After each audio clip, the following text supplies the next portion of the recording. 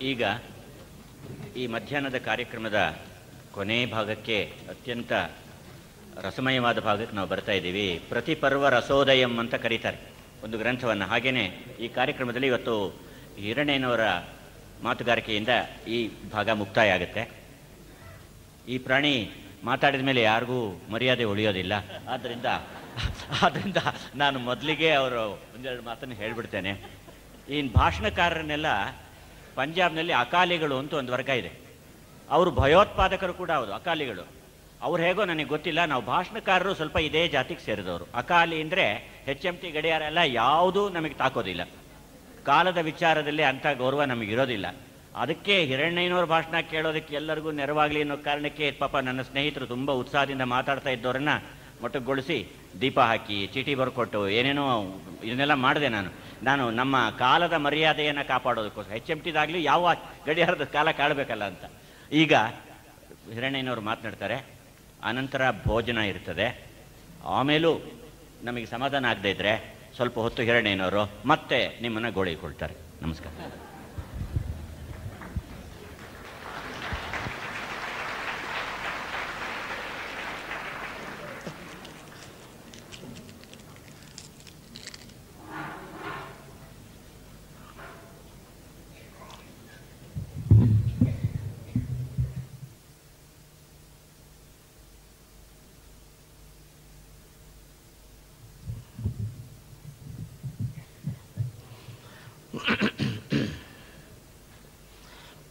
ವೇದಿಕೆ ಮೇಲಿರುವ ಹಾಗೂ ವೇದಿಕೆ ಮುಂದಿರುವ ಪೂಜ್ಯ ಅನ್ನದಾತರಿಗೆಲ್ಲ ಅನಂತ ಅಭಿವಂದನೆಗಳು.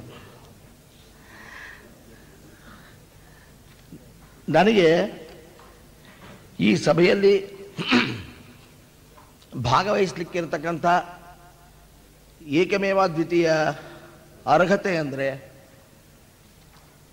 ನಾನು ನಕ್ಕು ಜಗತ್ತನ್ನು ನಗಿಸಿ ನಲವತ್ತೈದು ವರ್ಷ ಅನ್ನ ತಿಂದಿರೋದು ಒಂದು ಅರ್ಹತೆ. ಅದು ಏನು? ನಗಬಲ್ಲವ್ರನ್ನ ಆ ರಸಿಕತೆ ಇದ್ದವ್ರನ್ನ ನಗಿಸಿ ಅನ್ನ ತಿಂದಿರೋದು. ಮತ್ತೊಂದು, ಈ ಸಭೆಯಲ್ಲಿ ನನಗೆ ಮಾತಾಡೋ ಕೊಟ್ಟಿರ್ತಕ್ಕಂಥ ಸಬ್ಜೆಕ್ಟಲ್ಲಿ ಅರ್ಧಕ್ಕೆ ನಾನು ಅರ್ಹ. ಇನ್ನರ್ಧಕ್ಕೆ ನಾನು ಅರ್ಹ ಅಲ್ಲ. ಯಾವುದಂದರೆ, ಕಂಪನಿ ನಾಟಕಗಳು ಮತ್ತು ಕೈಲಾಸಂ ಅಂತ ಕೊಟ್ಟಿದ್ದಾರೆ. ಬಹುತೇಕ ಪ್ರಾಸಕ್ಕಾಗ ಕೊಟ್ಟಿರ್ಬೋದು. ಕಂಪನಿ ನಾಟಕಗಳು ಕೈಲಾಸ. ಎರಡು ಕಕಾರದಿಂದ ಪ್ರಾರಂಭ ಆಗುತ್ತೆ ಸುಂದರವಾಗಿರುತ್ತೆ, ವಾಕ್ಯ ಚೆನ್ನಾಗಿರುತ್ತೆ. ಕೈಲಾಸಂ ಬಗ್ಗೆ ನನಗೆ ನನ್ನ ಜೀವನದ ಸೂರ್ಯೋದಯ ಕಾಲದಲ್ಲಿ ಅವರ ಜೀವನದ ಸೂರ್ಯಾಸ್ತಮಾನದ ಸಮಯ ಅದು. ಅವರ ಕಾಲದಲ್ಲಿ ನಲವತ್ತೈದು, ನಲವತ್ತಾರು, ನಲವತ್ತೇಳರಲ್ಲಿ ನಾನಿನ್ನೂ ಆಗ್ತಾನೆ ಕಂಡುಬಿಡ್ತಾ ಇದ್ದವನು. ನಮ್ಮ ಜಯರಾಮ್ ಹೇಳಿದಾಗೆ ಇನ್ನೂ ಬುದ್ಧಿ ಬಂದಿತ್ತಿಲ್ಲ ಈಗ ಬಂದಿದೆ. ಅವರಾಗ ನಾನು ಒಪ್ಕೊಳ್ಳೋಣ ಇನ್ನೂ ಬಂದಿದ್ವಿ ಅಲ್ವ? ಅನುಮಾನ ನಂಗೆ ಬುದ್ಧಿ ಬಂದಿದೆ. ಯಾಕೆಂದರೆ ಐದು ಮಕ್ಕಳು, ಹನ್ನೊಂದು ಮೊಮ್ಮಕ್ಕಳು, ಎರಡು ನನ್ನ ಬುದ್ಧಿ ಬಂದಿಲ್ಲ ಅಂದ್ರೆ ಇನ್ನು ಯಾವಾಗ ಬರೋದು ಬುದ್ಧಿ? ಆದರೆ ಬಂದಿರೋ ಬುದ್ಧಿ ದುರ್ಬುದ್ಧಿನ ಸುಬುದ್ಧಿನ ಅದು ನೀವು ಹೇಳಬೇಕು ಅಷ್ಟೇ ಈ ಎರಡು ಅರ್ಹತೆಗಳ ಪೈಕಿ ನಾನು ಒಂದನ್ನು ಮಾತ್ರ ಕಂಪನಿಯ ನಾಟಕಗಳು ಅಂತ ಏನು ನನಗೆ ಕೊಟ್ಟಿದ್ದಾರೆ, ಅದರ ಬಗ್ಗೆ ನನಗೆ ಕೊಟ್ಟಿರುವ ಸಮಯವನ್ನು ಹಾಳು ಮಾಡಿಕೊಡೋದು ಹಾಗೆ ನಾನು ಕೆಲವೊಂದು ಘಟನೆಗಳು ಹೇಳ್ತೇನೆ. ಈ ಕಂಪನಿ ನಾಟಕಗಳ ಬಗ್ಗೆ ನಾನು ಮಾತಾಡುವಾಗ ಕಂಪ್ನಿ ಅಂದಾಗ ಅಯೋಚಿತವಾಗಿ ಅಥವಾ ಯಾರ ಪ್ರೇರಣೆಯೂ ಇಲ್ಲದೆ, ಯಾರ ಕಾರಕ ಥರ ಪ್ರೇರಕ ಥರ ಇಲ್ಲದೇನೆ ಅರ್ಥವಾಗೋದು ಅಂದರೆ ವೃತ್ತಿ ನಾಟಕ ಸಂಸ್ಥೆ ಅಂತ, ಕಂಪನಿ ಅಂದರೆ. ಈ ವೃತ್ತಿ ನಾಟಕ ಸಂಸ್ಥೆಗಳಲ್ಲಿ ನಾವು ವೃತ್ತಿಯನ್ನಾಗಿ ಮಾಡಿಕೊಂಡು ಅದನ್ನು ಅವಲಂಬಿಸ್ಕೊಂಡು ಬಂದಂಥ ಜನ ನಾವು. ನಾನು ಕಂಪ್ನಿಗೆ ಬರ್ತೀನಿ, ನಾಟಕಕ್ಕೆ ಬರ್ತೀನಿ ಅಂತ ನಮ್ಮ ಅಪ್ಪ ಬೇಡ ಅಂತಿದ್ರು. ಯಾಕೆಂದ್ರೆ ಅವಾಗ ವೃತ್ತಿನೇ ಗಬ್ಬಾಗಿತ್ತು. ಈಗ ನನ್ನ ಮಗ ಬರ್ತೀನಿ ಅಂತ ನಾ ಬಾರಪ್ಪ ಅಂದೆ. ಯಾಕೆಂದರೆ ವೃತ್ತಿಗೆ ಒಂದು ಗೌರವ ಬಂದಿದೆ ಈಗ. ಆ ವೃತ್ತಿಗೆ ಒಂದು ಮರ್ಯಾದೆ ಬಂದಿದೆ. ಆ ವೃತ್ತಿ ಜೀವನದ ಅವಿಭಾಜ್ಯ ಅಂಗ ಅನ್ನೋದನ್ನು ಸಮಾಜ ಪರಿಗಣನೆ ಮಾಡಿದೆ. ಶಿಕ್ಷಣಕ್ಕೆ ನಾಟಕ ಕೂಡ ಒಂದು ಅತ್ಯಮೂಲ್ಯವಾದಂಥ ಮುಖ್ಯವಾದ ವಿಚಾರ ಅನ್ನೋದನ್ನು ಇವತ್ತು ಆ ಕ್ಷೇತ್ರದವರು ತಿಳ್ಕೊಂಡಿದ್ದಾರೆ. ಮರ್ಯಾದಸ್ಥರು, ವಿಚಾರವಂತರು, ಅಕ್ಷರಸ್ಥರು, ಇವರೆಲ್ಲ ನಾಟಕದ ಕಂಪ್ನಿಯ ಬಗ್ಗೆ ಆಸ್ತೆ, ನಾಟಕದ ಬಗ್ಗೆ ಆಸಕ್ತಿಯನ್ನು ತೋರಿಸ್ತಾ ಇದ್ದಾರೆ. ಅದರಿಂದ ನನ್ನ ಮಗನ ಬಾಂದೆ ನಮ್ಮ ಕಾಲದಲ್ಲಿ ಕಂಪ್ನಿ ಆಗಿತ್ತಿಲ್ಲ ಯಾಕೆಂದರೆ ನಾಟಕ, ವೃತ್ತಿ ನಾಟಕ ಸಂಸ್ಥೆಗಳಲ್ಲಿ ನಾನು ಒಂದಕ್ಕೆ ಮಾತ್ರ ವಿರೋಧಿಸ್ತೇನೆ ಅಂತ ಇಟ್ಕೊಳ್ಳಿ. ಈ ವಿಲಾಸಿ, ವೃತ್ತಿ ಅನ್ನೋ ಭೇದವನ್ನು ತೆಗೆದುಹಾಕಬೇಕು ಅಂತ ನನ್ನ ಆಸೆ.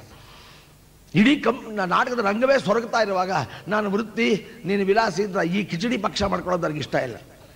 ನನ್ನ ಆಸೆ ಇಷ್ಟೇ ವೃತ್ತಿ ನಾಟಕ ಸಂಸ್ಥೆ ಆಗಲಿ, ವಿಲಾಸಿ ನಾಟಕ ಸಂಸ್ಥೆ ಆಗಲಿ, ಎರಡೂ ಕೂಡ ಸಾರ್ವೋದ್ಧಾರವಾಗಿ ರಂಗಭೂಮಿಯ ಏಳಿಗೆಗಾಗಿ ಪ್ರಯತ್ನ ಪಡಬೇಕಾದಂಥ ಒಂದು ಜವಾಬ್ದಾರಿಯನ್ನು ಹೊರೋ ಕಾಲ ಬಂದಿದೆ. ಆದ್ದರಿಂದ ಅದನ್ನು ಬಿಟ್ಬಿಡಿ. ವೃತ್ತಿ ನಾಟಕ ಸಂಸ್ಥೆಯವರಲ್ಲಿ ಅತ್ಯಂತ ಅಮೂಲ್ಯವಾದಂಥ ದೊಡ್ಡ ಏನಪ್ಪ ಇತ್ತು ಅಂದರೆ ನಮಗೆ ಸಮಯದ ಅಭಾವ ಇತ್ತಿಲ್ಲ.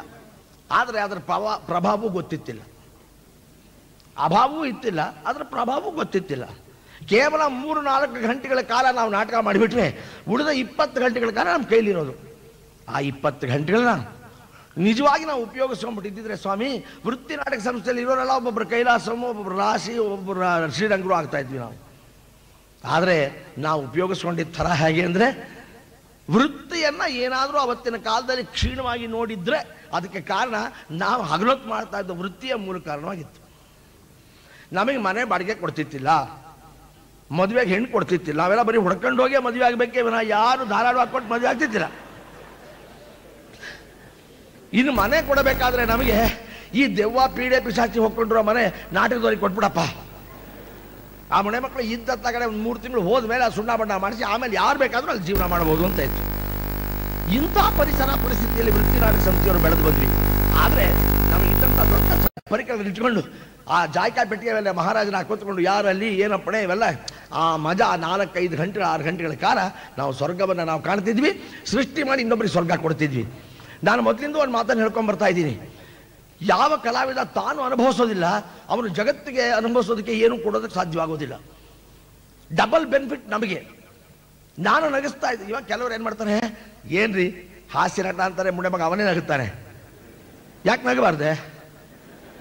ಅಲ್ಲ ಸ್ವಾಮಿ, ನಿಮಗೆ ನಗಿಸ್ಬೇಕಾದ್ರೆ ನಾನು ನಕ್ಕು ತೋ, ಕೆಲವು ಸಮಯ ನಕ್ಕು ತೋರಿಸ್ಬೇಕಾಗತ್ತೆ. ಯಾವ ನಿಮ್ಮಲ್ಲಿ ನಗು ಬರೋದಿಲ್ಲ ಅಂದ್ಬಿಟ್ಟಾರ ತೋರಿಸ್ಬೇಕಾಗತ್ತೆ. ಇನ್ನೊಂದು, ರಸಿಕತೆ ಅಂದ್ರೆ ಅರ್ಥ ಏನು? ನನ್ನ ಬಕೆಟ್ನಲ್ಲಿ ಪಾಯಸ ಇದ್ರೇ ನಾನು ನಿಮ್ಮ ತಟ್ಟೆಗೆ ಬಡಿಸೋಕೆ ಸಾಧ್ಯವೇ ವಿನಃ. ನಂದೇ ಬರೀ ಬಕೆಟ್ ಆದರೆ ಖಾಲಿ ಸೌಟ್ನಲ್ಲಿ ಅಲ್ಲಾಡಿಸ್ಕೊಂಡು ಮುಂದಕ್ಕೆ ಹೋಗಬೇಕಾಗುತ್ತೆ. ನೀವೇನು ಊಟ ಮಾಡ್ತೀರಿ ನೀವು? ಆದ್ರಿಂದ ನಮಗೆ ಡಬಲ್ ಬೆನಿಫಿಟ್ ಹೇಗೆ ಮೊದಲು ಪಾತ್ರವನ್ನು ನಾವು ಅನುಭವಿಸ್ತೀವಿ. ಸನ್ನಿವೇಶವನ್ನು ನಾವು ಅನುಭವಿಸ್ತೇವೆ. ಡೈಲಾಗ್ಗಳನ್ನ ನಾವು ಅನುಭವಿಸ್ತೇವೆ. ಅನುಭವಿಸ್ಬಿಟ್ಟು ಆನಂದ ಪಟ್ಟು ಅದನ್ನು ನಿಮಗೆ ಕೊಡ್ತೇವೆ. ಅವ ನೀವು ಆನಂದ ಪಡ್ತೀರಿ. ಅದ್ರ ಭಾಗವನ್ನು ಪುನಃ ಇನ್ನೊಮ್ಮೆ ನಾವು ಅನುಭವಿಸ್ತೇವೆ. ಡಬಲ್ ಬೆನಿಫಿಟ್ ನಮಗೆ. ಆ ನಾಲ್ಕೈದು ಗಂಟೆಗಳ ಕಾಲ ನಾವೇನು ರಂಗಭೂಮಿ ಮೇಲೆ ಮೆರಿತಾ ಇದ್ವಿ, ಅದೇ ನಮ್ಮ ಸ್ವರ್ಗ. ಅದಾದಮೇಲೆ ಯಥಾ ಪ್ರಕಾರ ಇಸ್ಬಿಟ್ಟಾಡೋರು ಇಸ್ಬಿಟ್ಟಾಡೋರು ಗುಂಡು ಹಾಕೊಳ್ಳೋರು ಹಾಕೊಳ್ಳೋರು ಯಥಾ ಪ್ರಕಾರ ಅಕ್ಕಪಕ್ಕದ ಮನೆ ನೋಡ್ಕೊಂಡು ಎಲ್ಲಿ ಯಾವ್ಯಾವ ಸುಲಭವಾಗಿ ಸಿಗುತ್ತೆ ನೋಡ್ಕೊಂಡು ಆರಾಮಾಗಿ ಇದ್ಬಿಡ್ತಿದ್ವಿ ನಾವು.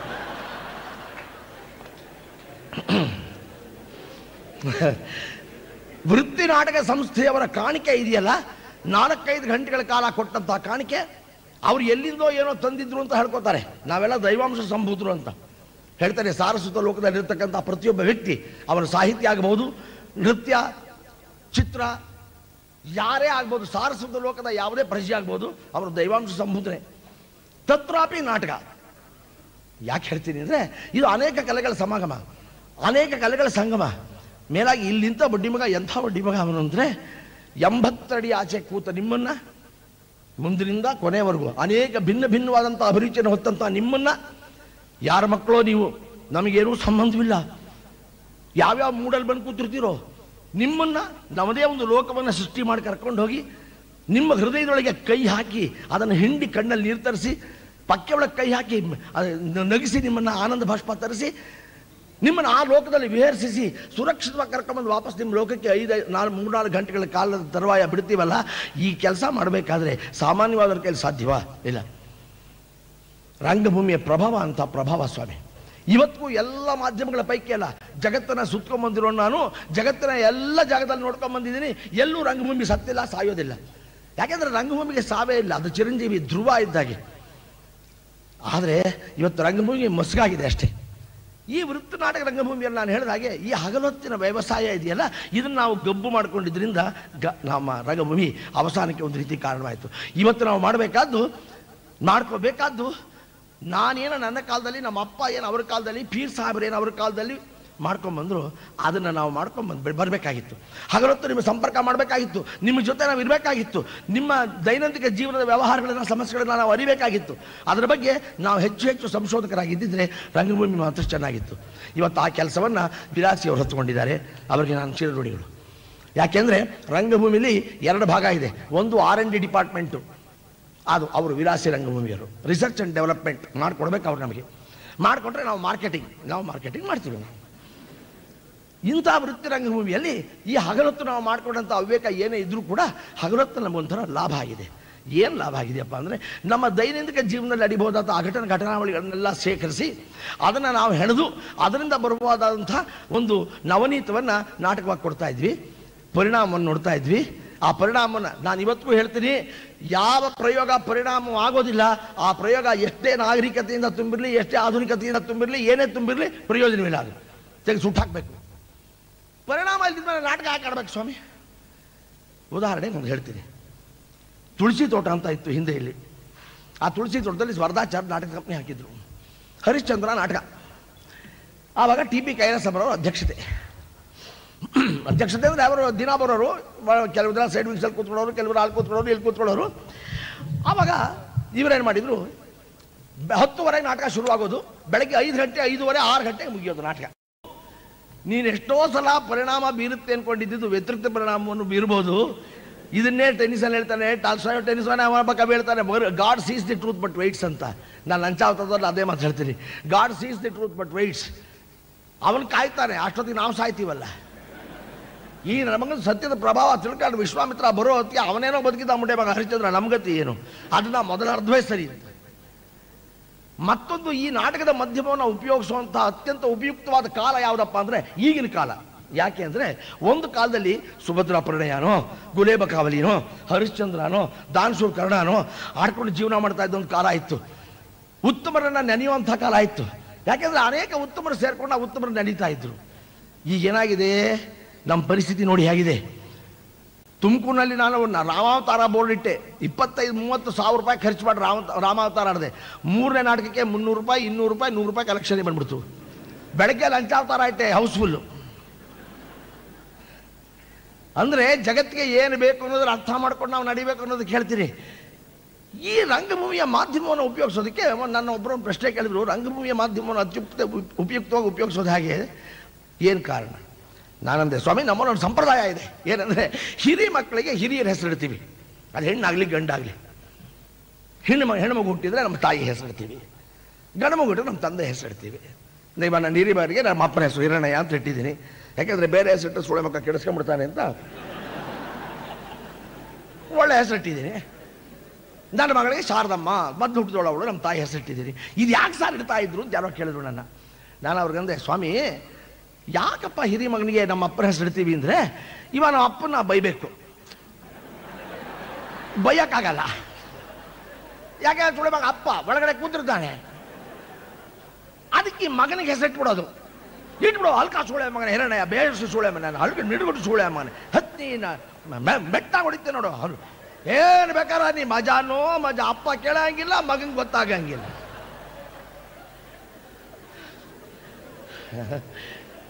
ಇದಕ್ಕಾಗಿ ಈ ಅನುಕೂಲವನ್ನು ಕಲ್ಪಿಸ್ಕೊಂಡಿದ್ರಪ್ಪ ನಮ್ಮವರು. ಹಿರಿಕ್ ಹೆಸರಿಟ್ಟು ಅಂತ ಆ ಒಂದು ತತ್ವವನ್ನು ನಾನು ರಂಗಭೂಮಿಗೆ ಅಪ್ಲೈ ಮಾಡ್ತಾ ಇದ್ದೀನಿ. ಆ ತತ್ವವನ್ನು ಇದೇ ರಂಗಭೂಮಿಗೆ ನಾನು ಅನುಸರಿಸ್ತಾ ಇದ್ದೀನಿ. ಏನಂದ್ರೆ, ಸಮಾಜದಲ್ಲಿ ಇದ್ದು ನಾವು ಕೆಲವನ್ನು ಹೇಳೋಕ್ಕಾಗಲ್ಲ. ಸಮಾಜದಲ್ಲಿ ಬದುಕಿದ್ದು ನಾವು ಕೆಲವನ್ನು ಬಗಳೋಕ್ಕಾಗಲ್ಲ. ಅದು ಸತ್ಯವೇ ಇರಬಹುದು. ಅದು ಸತ್ಯವೇ ಇರಬಹುದು ಹೇಳೋಕ್ಕಾಗಲ್ಲ. ನಾನು ಅಲ್ಲಿ ಕೂತ್ಕೊಂಡು ಬಂಗಾರಪ್ಪನ ಬೈಯೋದು ಹೇಗೆ? ಅಲ್ಲಿ ಕೂತ್ಕೊಂಡು ಮೈಲಿ ಬೈಯೋದು ಹೇಗೆ? ಅಲ್ಲಿ ಕೂತ್ಕೊಂಡು ಸಿದ್ದರಾಮ್ ಕೇಸರಿ ವಿಡಂಬನೆ ಮಾಡೋದು ಹೇಗೆ? ಹಾಗಲ್ಲ, ಯಾವಾಗ ಯಾರು ಪವರಿಗೆ ಬರ್ತಾರೋ ಸುಳೆ ಮಕ್ಕಳು ಹೇಳೋಕ್ಕಾಗಲ್ಲ. ನನ್ನ ಗತಿ ಏನು? ಅದಕ್ಕೆ ರಂಗಭೂಮಿ ಕಂಡಿಡಿದ್ರು, ಬರ್ರಪ್ಪ ಇಲ್ಲಿ. ಹಾಕೋ ಪಾರ್ಟ್ ಹಾಕೋ ಹಿರಿಯ ಮಗನಿಗೆ ಮಪ್ಪನ ಹೆಸರಿಟ್ಟಾಗೆ ಇಡು ಹೊಡಿ ಮೆಟ್ಟಾಗೆ ಬೇಕಾಗ್ತಾನೆ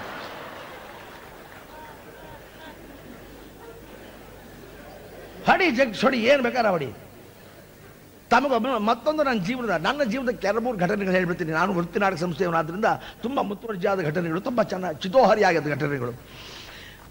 ನೋಡಿ, ಕಪಿಮುಷ್ಟಿ ನಾಟಕ ಆಡ್ತಾ ಇದ್ದೆ ನಾನು. ಆಡ್ತಾ ಇದ್ದಾಗ ಅದು ಯಾರು ಅಂತ ಹೇಳೋದು ಬೇಡ. ಒಬ್ಬ ನ್ಯಾಯಾಧೀಶರು. ಒಬ್ಬ ನ್ಯಾಯಾಧೀಶರು ನನಗೆ ಕಿವಿ ಮಾತು ಹೇಳಿದರು. ಹಿರಣ್ಣಯ್ಯನವರೇ, ಸದ್ಯದಲ್ಲೇ ನಿಮ್ಮ ಕಪಿಮುಷ್ಟಿ ಬ್ಯಾನ್ ಆಗುತ್ತೆ. ಏನು ಮಾಡಲಿ ಸರ್? ಏನಿಲ್ಲ ನಿಮಗೆ ಗುಂಡು ಅಭ್ಯಾಸ ಇದೆಯೋ ಅಂದರು. ಪಾಪ ಅವ್ರಿಗೆ ಗೊತ್ತಿಲ್ಲ, ಬಿಡಿ. ಬಹಳ ಸಾಧು ಪ್ರಾಣಿ, ಉತ್ತಮೋತ್ತಮವಾದ ಮನುಷ್ಯ ಆತ. ಗುಂಡು ಅಭ್ಯಾಸ ಇದೆಯೋ ಅಂದ್ರು. ಹಗಲೊತ್ತು ಮಾತಾಡಿಸ್ತಾ ಇದ್ದಾರೆ. ಆದರೂ ತಿಳ್ಕೊಬಹುದಾಗಿತ್ತು ಅವರು.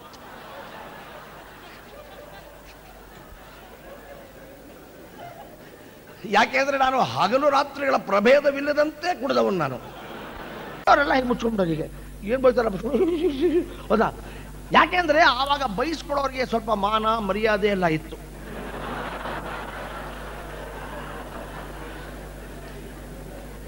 ಅವರು ರಾಜಕಾರಣಿ ಆಗಿರ್ಬೋದು, I A S, I P S officers ಆಗಿರ್ಬೋದು, ಅವ್ರಿಗೆ ಮಾನ, ಮರ್ಯಾದೆ ಇತ್ತು.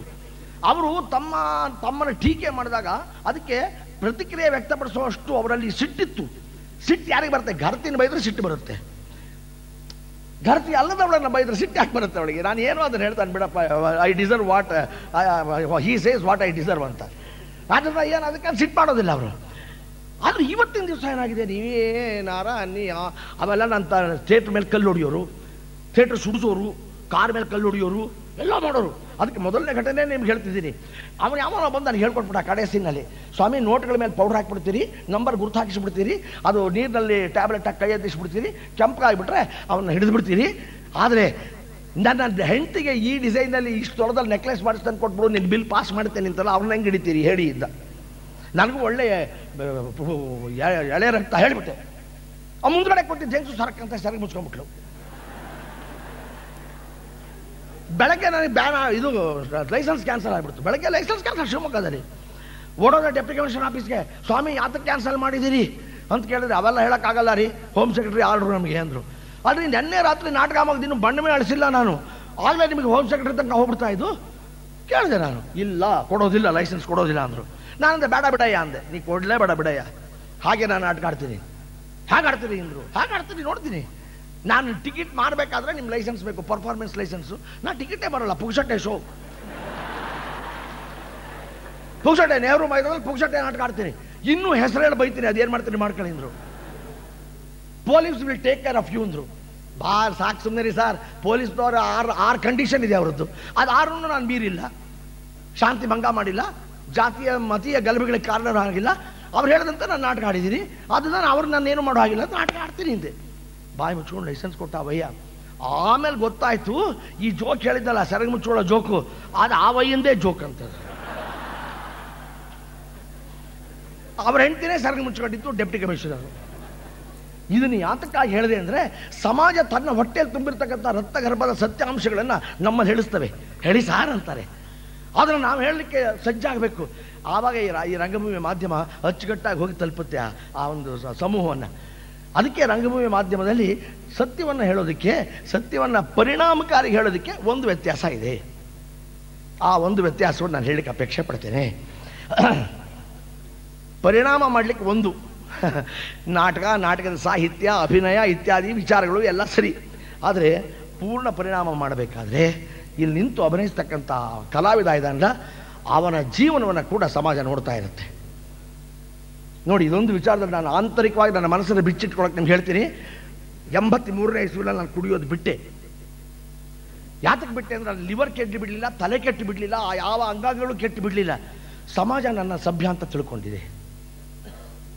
ಆ ತಿಳುವಳಿಕೆಗೆ ನಾನು ಮೋಸ ಮಾಡಿದ್ರೆ ಇಲ್ಲ ನನ್ನ ಅನರ್ಹ, ಅನರ್ಹತೆ ಬಂದ್ಬಿಡುತ್ತೆ, ನಾನು ಒಳಗೆ ಹೋಗ್ಬೇಕಾಗತ್ತೆ. ನಾನು ಇದು ಆತ್ಮಸಾಕ್ಷಿಯ ಪ್ರಶ್ನೆ ಇದು. ಯಾರು ನಾನು ಕುಡಿದಿದ್ದಕ್ಕೆ ಯಾರು ಬೇಡ ಅನ್ನಲಿಲ್ಲ ಆದರೆ ಕುಡಿದು ನಾನು ಮಾಡ್ತಾ ಇದ್ದಂಥ ಅವಿವೇಕಗಳನ್ನು ಎಲ್ಲಿ ಸಮಾಜ ಗುರುತು ಹಿಡಿತು ಏನೋ ತಲೆ ಗಟ್ಟಿಯಾಗಿರೋರ್ಗು ಬದುಕೊಂಬಂದ ಎಂಬತ್ಮೂರನೇ ಇಸ್ವಿವರೆಗೆ ಸಮಾಜಕ್ಕಾಗಿ ಬಿಟ್ಟೆ. ಅದರಿಂದ ನಾನು ಇವತ್ತಿನವರೆಗೆ, ಅಲ್ಲ, ಇದು ಆತ್ಮ ಪ್ರಶಂಸೆ ಅಲ್ಲ, ಕಲಾವಿದನ ಬಗ್ಗೆ ನಾನು ಹೇಳ್ತಾ ಇರೋದು. ಅವನು ಕಲಾವಿದ, ನಾನು ಇವತ್ತಿನವರೆಗೆ ಎಲ್ಲರೂ ಒಬ್ಬ ಮಂತ್ರಿಗಳ ಹತ್ರ ಹೋಗಿ ತಮಟೆ ಬಿಡೋದು, ಏನಾದ್ರು ಒಂದು ಸೈಟೋ ಪೈಟೋ ತೊಗೊಂಡ್ಬಿಟ್ಟಿದ್ರೆ ಇವತ್ತಿನ ದಿವಸ ನನ್ನ ಥೂ ಚೀತ ನೀವು ಆಚೆ ಕಳಿಸ್ಬಿಡ್ತಾ ಇದ್ರಿ. ನಲವತ್ತೈದು ವರ್ಷ ಆಗಿದೆ, ನನ್ನ ನನ್ನವನ್ನು ನಾನು ಹುಟ್ಟಿಸ್ಕೊಂಡೇ ತಿಂತಿದ್ದೇನೆ, ಈ ಸೂಳೆ ಮಕ್ಕಳ ಬಾಗಿಲಿ ನಾನು ಯಾವತ್ತೂ ಹೋಗಿಲ್ಲ, ಹೋಗೋದಿಲ್ಲ ನಾನು, ಹೋಗೋದಿಲ್ಲ. ಇದನ್ನು ಯಾತಕ್ಕೆ ಒತ್ತಿ ಹೇಳ್ತೀನಿ ಅಂದರೆ ನನ್ನ ಗೌರವ ನಾನು ಮೊದಲು ಕಾಪಾಡಿಕೊಂಡ್ರೆ ಗೌರವ ಸಮಾಜದಲ್ಲಿ ನಾನು ಗೌರವವಾಗಿ ಬದುಕೋದಕ್ಕೆ ಸಾಧ್ಯ. ಅದರ ಬಗ್ಗೆ ಬೆರಳು ಮಾಡಿ ತೋರಿಸೋದಕ್ಕೆ ಸಾಧ್ಯ.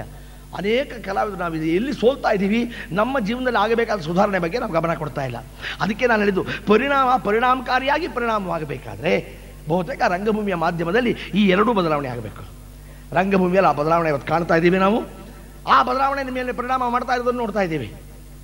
ಹಿರಣ್ಣಯ್ಯನವ್ರ ಜೀವನಕ್ಕೂ ನನ್ನ ಜೀವನಕ್ಕೂ ಬಂದಂಥ ದೊಡ್ಡ ವ್ಯತ್ಯಾಸ ಅವರು ಕಲ್ಚರ್ಡ್ ಕಮಿಡಿಯನ್ನಾಗಿ ಬದುಕಿದ್ರು. ನಾನು ಬರೀ ಕಮಿಡಿಯನ್ನಾಗಿ ಉಳ್ಕೊಂಡೆ.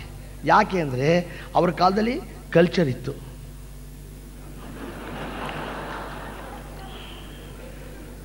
ಕಲ್ಚರ್ ಇತ್ತು. ಇವತ್ತೇನಾಗಿದೆ? ಕನ್ನಡ ಭಾಷೆ ಯಾವ ಸ್ಥಿತಿಗಿಳಿದಿದೆ? ಕಲ್ಚರ್ ಅಂದರೆ ಯಾವ ಸ್ಥಿತಿ? ನೋಡಿ, ಇವತ್ತಿನ ದಿವಸ ಹಾಸ್ಯದ ಸ್ಥಿತಿನ ನಾವು ನೋಡ್ತಾ ಇದ್ದೀವಿ. ಎಷ್ಟು ಜನ ಸೇರಿದ್ದೀವಿ ಇದೇ ನರಸಿಂಹಯ್ಯ ರಂಗಮಂದಿರದಲ್ಲಿ ಅನೇಕ ತರಹ ನಾಟಕಗಳನ್ನ ಆಡಿದ್ದೀವಿ ನಾವು. ಸಿ ಆರ್ ಸಿಂಹ ಆಡಿದ್ದಾರೆ ನಾವು ಆಡಿದ್ದೀವಿ, ಬೇಕಾದಷ್ಟು ನಾನು, ಮೇಕಪ್ ನಾನು ನಾವೆಲ್ಲ ಆಡಿದ್ದೀವಿ. ಬರೀ ಹದಿನೈದು, ಇಪ್ಪತ್ತು, ಮೂವತ್ತು, ಐವತ್ತು ಜನಕ್ಕೆ ನಾಟಕ ಆಡಿದ್ದೀವಿ. ಇವತ್ತು ಪ್ಯಾಕ್ಡ್ ಹೌಸ್ ಯಾಕಿದೆ? ನಗುವಿಗೆ ಬರ ಬಂದಿದೆ. ಸಮಾಜದಲ್ಲಿ ನಗುವಿಗೆ ಬರ ಬಂದಿದೆ. ಎಲ್ಲಿ ಹೋದರೂ ಕೈ ಹಾಕಿದ್ರು ಕಣ್ಣೀರೇ ಕೈಗೆ ಸಿಗ್ತಾ ಇರುವಾಗ ನಗಿಸೋರು ಯಾರಿದ್ದಾರೆ? ಅದು ಸುಮ್ಮನೆ ನಗಿಸೋರಲ್ಲ, ಏನೋ ಕೋತಿ ಮಂಗಿ ಚೇಷ್ಟೆ ಮಾಡಿ ನಗಿಸೋರಲ್ಲ. ಕೈಲಾಸಂ ಹೆಸರಲ್ಲಿ, ನಾಕಸ್ತೂರಿ ಹೆಸರಲ್ಲಿ, ರಾಶಿಯವರ ಹೆಸರಲ್ಲಿ, ಬೀಚಿಯವರ ಹೆಸರಲ್ಲಿ ಅಂಥ ನಗು ನಗಿಸುವಂಥ ಪುಣ್ಯಾತ್ಮರು ಎಲ್ಲಿದ್ದಾರಪ್ಪ ಅಂತ ಹುಡುಕೊಂಡು ಹೋಗುವಂಥ ಸ್ಥಿತಿ ಇವತ್ತು ಸಮಾಜಕ್ಕೆ ಬಂದಿದೆ. ಅದೇ ನಾಣ್ಯದ ಮತ್ತೊಂದು ಮುಖ, ದುಃಖದ ಪರಿವಿಡಿ ಜಾಸ್ತಿ ಆಗಿದೆ. ಎಲ್ಲಿ ನೋಡಿದರೂ ದುಃಖ, ಎಲ್ಲಿ ನೋಡಿದರೂ ಸಮಸ್ಯೆ. ದೇವಸ್ಥಾನಕ್ಕೆ ಜನ ಬಾಸ್ತಿ ಬರ್ತಾ ಇದ್ದಾರಪ್ಪ ಅಂದ್ರೆ ಮನೇಲಿ ಕಷ್ಟ ಇದೆ ಅಂತ ಗ್ಯಾರಂಟಿ ಹೇಳ್ಬೋದು ನೀವು ಯಾಕೆಂದರೆ ಒಂದು ಬಾಟ್ಲು ಬಿಸ್ಕಿ ಕುಡಿಯುವಾಗ ಯಾವನೂ ದೇವರೇನೂ ಅಲ್ಲ ನನ್ನ ಮಗಂತ ಬಿಸ್ಕಿ ಬಾಟ್ಲು ಒಡೆದು ಕಾಲಿಗೆ ಚುಚ್ಚಿಕೊಂಡಾಗ ಗಾಜು, ಅಯ್ಯೋ ದೇವರೇ ಅಂತೀವಿ ಸುಳೆ ಮಗ ಆವಾಗ ಅಂತೀವಿ ಅವಿನ. ಅದಕ್ಕೆ ನಾನು ಎಷ್ಟೋ ಸಲ ಹೇಳ್ತಾ ಇರ್ತೀನಿ, ಮನುಷ್ಯನಿಗೂ ದೇವ್ರಿಗೂ ಸೃಷ್ಟಿಲಿ ಇಷ್ಟೇ ವ್ಯತ್ಯಾಸ. ದೇವರು ಮನುಷ್ಯನ ಸೃಷ್ಟಿ ಮಾಡೋದು ಯಾವಾಗ? ಅವನ ಬ್ರಹ್ಮಾನಂದದ ತುಟ್ಟು ತುದಿರಿದ್ದಾಗ ನಮ್ಮನ್ನು ಸೃಷ್ಟಿ ಮಾಡ್ದ. ಪರಮಾತ್ಮನ ಆನಂದದ ಶಿಶು ನಾವು. ನಾವು ದೇವರು ಸೃಷ್ಟಿ ಮಾಡಿದ್ದು ಯಾವಾಗ? ನಮಗೆ ತೀರಾ ಇಲ್ಲೆಲ್ಲೋ ಮುಳ್ಳು ಹೊಕ್ಕೊಂಡಾಗ, ಅಯ್ಯೋ ಸುಳೆ ಮಗನೇ ದೇವರೇ ಈಗ ಮಾಡಿದೆಯಲ್ಲ ಅಂತೀವಿ. ಆದ್ದರಿಂದ ನಮ್ಮ ಅವನ ಸೃಷ್ಟಿಯ ವ್ಯತ್ಯಾಸ ಇಷ್ಟೇ. ಆದ್ದರಿಂದ ನಮ್ಮ ಜೀವನದ ಘಟನಾ ಘಟನಾವಳಿಗಳನ್ನು ಮತ್ತೊಂದು ನಿಮ್ಗೊಂದು ಘಟನೆ ಹೇಳಲಿಕ್ಕೆ ಅಪೇಕ್ಷೆ ಪಡ್ತೇನೆ. ನನಗೆ ಎಲ್ಲಿಂದ ಈ ಹಾಸಿದ ಸೋಂಕು ಬಂತು? ಎಲ್ಲಿಂದ ಈ ರೋಗ ಬಂತು? ಯಾರು ನನಗೆ ಈ ರೋಗ ಹತ್ತಿಸಿದವ್ರು ಯಾರು? ಎಪಿಡೆಮಿಕ್ ಇದು. ಯಾರಂದರೆ ಕೈಲಾಸಂಬ್ರವರನ್ನ ಸ್ಮರಣೆ ಮಾತ್ರ ನೋಡಿದ್ದೆ ನಾನು ಅಷ್ಟೇ ಸ್ಮರಣೆಯಲ್ಲಿ ಮಾತ್ರ ನೋಡಿದ್ದೇನೆ ಅಷ್ಟೇ. ಅವರ ಕೃತಿಗಳನ್ನು ಓದಿದ್ದೇನೆ ಅಷ್ಟೇ. ಅವ್ರ ನಾಟಕದಲ್ಲಿ ಪಾತ್ರ ಮಾಡಿದ್ದೇನೆ ಅಷ್ಟೇ. ಆದರೆ ನನ್ನ ಡೈರೆಕ್ಟ್ ಕಾಂಟ್ಯಾಕ್ಟ್ ನನಗೆ ಶುರುವಾದ್ದು ಬೀಚಿಯಿಂದ ನಾನು ಬೀಚಿ ಗ್ಲಾಸ್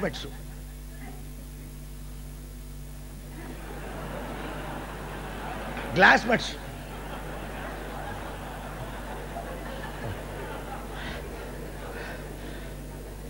ಹೇಳ್ತಾರಲ್ಲ, ನಾವೆಲ್ಲ ಒಟ್ಟಿಗೆ ಕ್ಲಾಸ್ಮೇಟ್ಸು ಒಟ್ಟಿಗೆ ಓದಿದ್ವಿ, ಒಟ್ಟಿಗೆ ಆಡಿದ್ವಿ, ಒಟ್ಟಿಗೆ ಬೆಳೆದ್ವಿ ಅಂತ. ಹಾಗೆ ನಾನು ಬಿಚ್ಚಿ ಒಟ್ಟಿಗೆ ಕುಡಿದ್ವಿ, ಒಟ್ಟಿಗೆ ಉರುಳಾಡಿದ್ವಿ, ಒಟ್ಟಿಗೆ ಜ್ಞಾನ ಕೆಟ್ಟಿವಿ ಒಟ್ಟಿಗೆ ಗಬ್ಬೆದ್ವಿ. ಆದರೆ ಹೆಜ್ಜೆ ಹೆಜ್ಜೆಯಲ್ಲಿ ಕೂಡ ನೀವು ಬೀಚಿಯನ್ನು ನನ್ನ ಛಾಪನಲ್ಲಿ ನೋಡಬಹುದು. ಬೀಚಿಯ ಆ ಒಂದು ಉಪದೇಶ ನನ್ನ ತಲೆ ಎಷ್ಟು ಮಟ್ಟಿಗೆ ಹೋಗಿ ಹೋಗ್ತಿದೆ ಅಂದರೆ, ಏನಿಬಡಿ ಇವತ್ತು ಯಾವತ್ತಾದರೂ ಯಾರಾದರೂ ಕಲ್ಚರನ್ನು ಆ, ಹೆಸರನ್ನ ಕೇಳಬಹುದಾಗಿದ್ದರೆ ಕನ್ನಡ ಸಾಹಿತ್ಯದಲ್ಲಿ ಬಹುತೇಕ ನಾನು ಅನಿಸುತ್ತೆ ನನ್ನ ಜೀವನದಲ್ಲಿ ಬಂದಂಥ ಬೀಚಿಯ ಆ ಒಂದು ನೆರಳು, ಪರಿಣಾಮ ನನ್ನಲ್ಲಿ ಬಹಳ ಆಗಿದೆ. ಇದಕ್ಕೆ ಉದಾಹರಣೆ ನಿಮ್ಗೆ ಹೇಳ್ತೀನಿ. ನಾನು ಒಂದು ನಾಟಕ ಬರೆದಿದ್ದೀನಿ, ಮೆಟ್ಟಸ್ವಾಮಿ ಮಹಿಮೆ ಅಂತ. ಅದು ಸ್ಫೂರ್ತಿ ಎಲ್ಲಿದು ಅಂದರೆ ಒಂದು ಸಲ ಒಂದು ಬೀಚ್ ಒಂದು ಕಥೆ ಹೇಳ್ದ ನನಗೆ. ಅದು ಪ್ರಿಂಟ್ ಆಗಿದೆಯೋ ನನಗೆ ಗೊತ್ತಿಲ್ಲ. ಆದರೆ ತುಂಬ ಮಜವಾದ ಕಥೆ ಇದು. ಎರಡು ಊರ್ತಂತೆ ಒಂದು ಜಿಲ್ಲಾ ಹೆಡ್ ಕ್ವಾರ್ಟರ್ಸು ಒಂದು ತಾಲ್ಲೂಕು. ಆ ಜಿಲ್ಲೆ ಒಳಗಿನ ತಾಲ್ಲೂಕು. ಆ ತಾಲ್ಲೂಕಿನಲ್ಲಿ ಒಂದು ಸ್ವಾಮಿ ಬಂದ, ಒಂದು ಗದ್ದಿಗೆ. ಆ ಗದ್ದಿಗೆ ಪಕ್ಕದಲ್ಲಿ ಒಬ್ಬ ಸ್ವಾಮಿ. ಏನು ಪ್ರಖ್ಯಾತಿಗೆ ಬಂತು ಬಂತು ಬಂತು ಬಂತು ಬಂತು. ಒಂದು, ಒಂದೂವರೆ, ಎರಡು ವರ್ಷದಲ್ಲಿ ಆ ಮಠ ಎಷ್ಟು ದೊಡ್ಡ ಮಠವಾಯಿತು ಅಂದರೆ ಐದು, ಆರು ಕೋಟಿ ರೂಪಾಯಿನ ಬಿಲ್ಡಿಂಗ್ಗಳಾದವು. ಆ ಬಿಲ್ಡಿಂಗ್ ಓಪನಿಂಗಿಗೆ ರಾಷ್ಟ್ರಪತಿ, ಪ್ರಧಾನಮಂತ್ರಿ ಬರುವ ಹಾಗಾಯಿತು ಎಲ್ಲ ಆಯಿತು. ಏನು ಪ್ರಭಾವ ಬೀರ್ಬಿಡ್ತು. ಎರಡು ವರ್ಷದಲ್ಲಿ.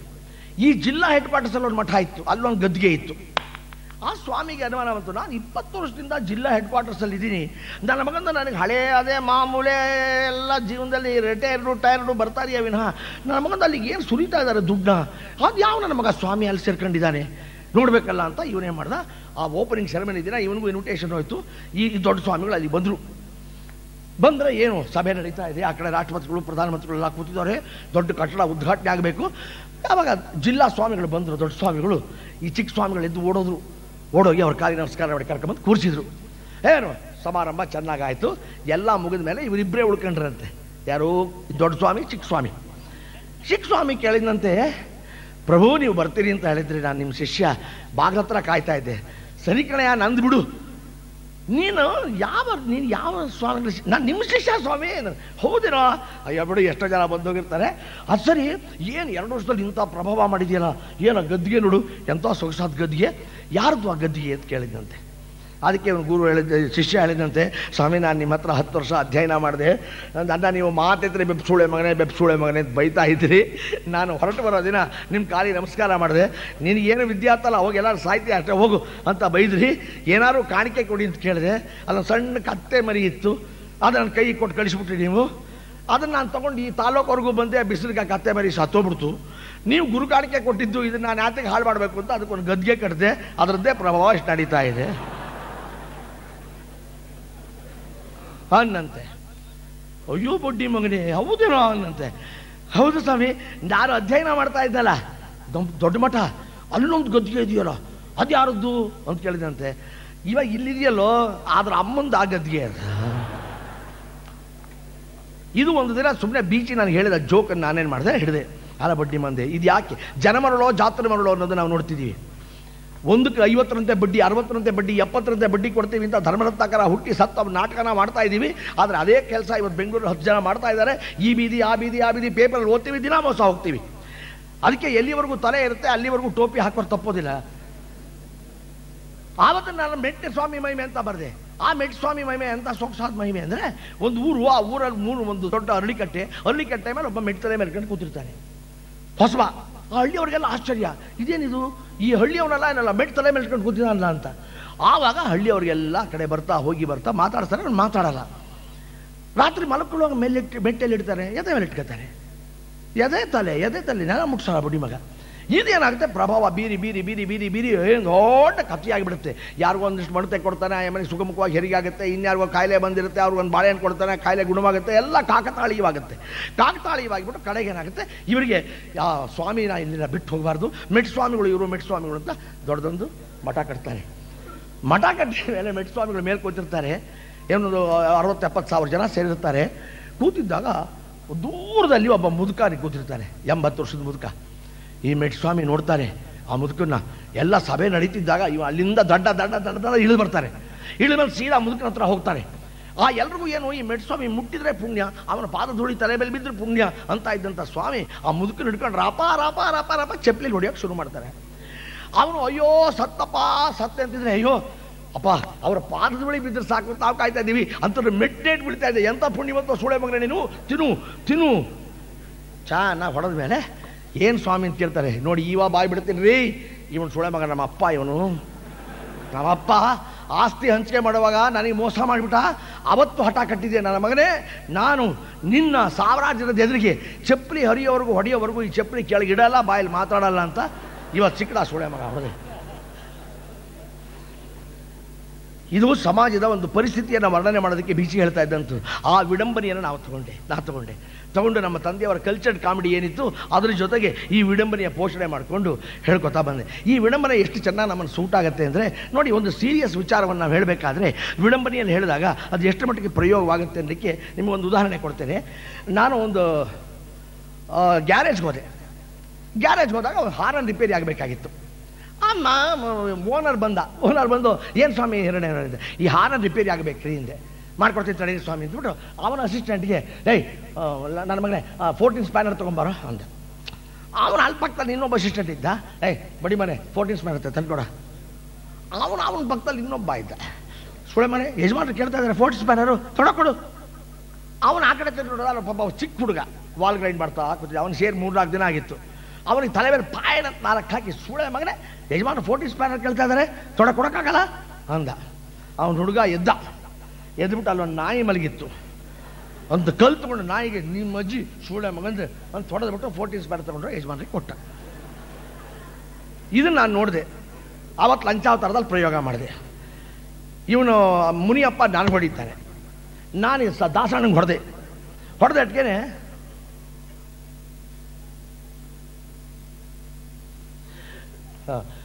ಹೊಡಿತಾನೆ. ದಾಸಣ್ಣ ನನಗೆ ಯಾಕೆ ಹೊಡಿತೀರಿ ಬುದ್ಧಿ? ಅಂತಾನೆ. ಅದೇ ಕಡೆ ಸಮಾಜವಾದ. ಅದೇ ಸಮಾಜವಾದ. ಇವತ್ತು ಸಮಾಜವಾದ ಅಂದ್ರೆ ಏನು ತಿಳ್ಕೊಂಡೆ? ದೊಡ್ಡವರು ಸಣ್ಣವ್ರು ಹೊಡಿತಾರೆ ಸಣ್ಣವರು ಚಿಕ್ಕವ್ರು ಹೊಡಿತೀವಿ, ನೀವು ಬೀದಿ ನಾಯಿ ಹೊಡೀರಿ. ಇವತ್ತು ನಮ್ಮ ಸಮಾಜವಾದ ಹೀಗಾಗ್ತಾ ಇರೋದ್ರಿಂದ ಈ ಪವಿತ್ರ ಸಮಾಜ ಕೆಡ್ತಿರೋದು. ಅದು ಸರಿ ಹೋಗಬೇಕಾದ್ರೆ ನನ್ನ ಮಗನೇ ಇದು ಉಲ್ಟಾ ಆಗಬೇಕು. ನಾಯಿ ನಿನಗೆ ಕಡಿದು, ನೀನು ನನಗೆ ಹೊಡೆದು, ನಾನು ಈ ಸೋಳೆ ಮಗನ ಮೆಟ್ಟರಿಯ ಹೊಡೆದ್ರೆ ಆವಾಗ ಸರಿ ಹೋಗುತ್ತೆ.